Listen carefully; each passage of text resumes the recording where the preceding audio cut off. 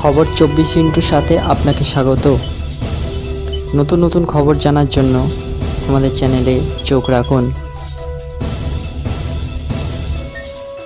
খুশ মেজাজে একটা উন্মাদনা হিসাবে কি ভোট দিচ্ছে মনে হয়? সে দেখলে অবাক হয়ে যাবেন যে সত্যিকারে মানুষ আমাদের মাননীয় নেত্রীর যে উন্নয়নকে মাথায় রেখে এবং তার ব্যক্তিগত যে পরিষেবা তারা পেয়েছে আজকে এত বৃষ্টি মানে আকাশ কালো হয়ে গেছে তার মধ্যেও সকাল থেকে খুব আনন্দ মানে মানুষ স্বতঃস্ফূর্তভাবে এসে এখানে সারিবদ্ধভাবে কোনো সমস্যা নেই।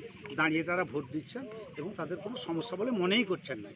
সেক্ষেত্রে আর বেশি মানুষ উৎসবের মেজাজে দিয়ে ভোট দিচ্ছে। সে জায়গায় নেই।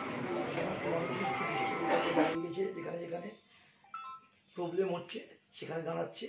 আর মানুষ ভালোভাবে এগিয়ে আসছে, ভোট দিচ্ছে, কোনো চিন্তা নেই। কারণ আমি নিজে তো আমার এখানে তেইশ জন পঞ্চায়েত মেম্বার বাইশটা বুথ আমি সকালে ওই বৃষ্টির আগেই ভোর একদম সাড়ে ছটা থেকে সমস্ত বুথে ঘুরে আপ টু প্রায় অর্ধেকের বেশি নিজে কভার করেছি।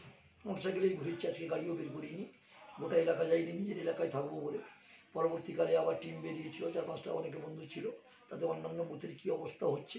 প্রায় ঘুরে এলাম, আর দুটো বুথ বাকি আছে, যেতে যাব একটু পরে এখনই।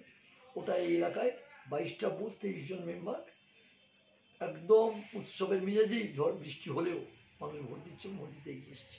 সরিষা একটা সমস্যা। বৃষ্টিতে ভিড় কি কম হচ্ছে মনে হয় গোটা? না কিছুক্ষণ মানে এত মেঘটাকে অপেক্ষা করে ওরা পরপর বাড়ি থেকে বেরোচ্ছে। তবে সেক্ষেত্রে একটু বৃষ্টি হলে একটু অসুবিধাটা মনে হচ্ছে। তবুও পাঁচটার মধ্যে যেহেতু টাইম আছে প্রত্যেকে এসে কিন্তু ভোটে দিতে পারবে।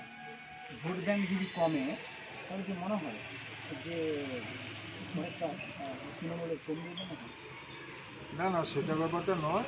যে যার দলের ভোটটা তারা নিশ্চয়ই কর্মীরা যারা আছে তারা এসে ভোট দেবে তাতে কিন্তু আমাদের ভোট কমাতে হবে।